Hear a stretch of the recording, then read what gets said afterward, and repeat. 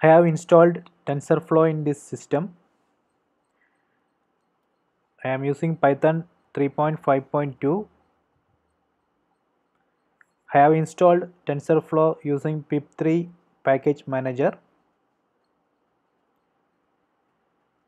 But I am getting error when try to import TensorFlow. So this is the error.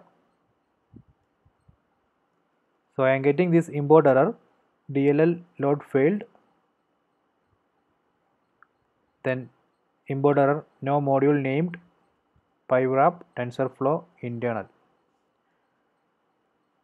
So we can fix this issue by installing Microsoft Visual C++ 2015 redistributable update. So go to this URL then download this file click on download then select this exe file then click on next.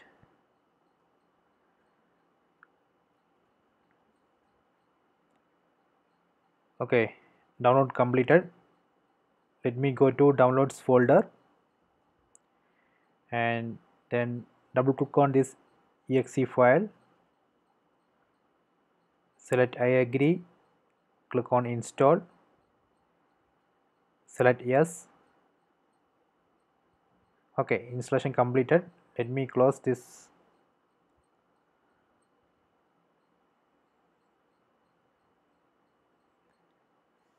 Then close this uh, python shell.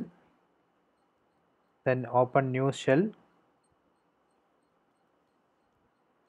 Then do import tensorflow